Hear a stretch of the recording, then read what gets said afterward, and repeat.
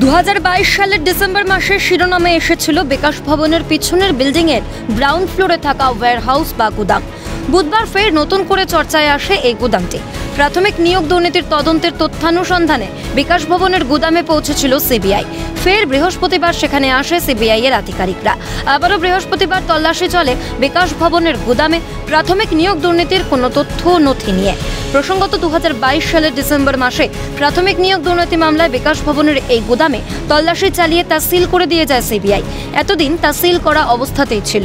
এরপর চলতে থাকে প্রাথমিক নিয়োগ দুর্নীতির তদন্ত। ইতিমধ্যেই তদন্ত চালাতে গিয়ে বহু তথ্য হাতে পৌঁছেছে সিবিআই এর। সেই সমস্ত তথ্য খতিয়ে দেখতেই বুধবার চলেছিল সিবিআই এর বিকাশ ভবন অভিযান। এই গুদামে এখনও বেশ কিছু নথি রয়েছে, যা খতিয়ে দেখা প্রয়োজন বলে মনে করছে সিবিআই, এমনটাই সূত্রের খবর।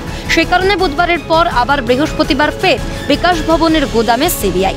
এদিকে রাজ্য সরকারের পক্ষ থেকেও ইতিমধ্যেই উচ্চ আদালতে আবেদন জানানো হয়েছে যাতে দ্রুত বিকাশ ভবনের এই গুদামটি সিবিআই এর পক্ষ থেকে খুলে দিয়ে তা শিক্ষা দপ্তরের হাতে তুলে দেওয়া হয়। এখন দেখার কবে এই গুদাম সিবিআই এর নজরমুক্ত হয়ে ফিরে যায় শিক্ষা দপ্তরের হাতে, নাকি প্রাথমিক নিয়োগ দুর্নীতি মামলায় আরও কিছু নতুন তথ্য বের হয় এই গুদাম থেকেই? ক্যামেরায় শুভজিৎ গায়নের সঙ্গে রেশমি দাস এবং শুভদীপ মান্নার রিপোর্ট, ক্যালকাটা নিউজ।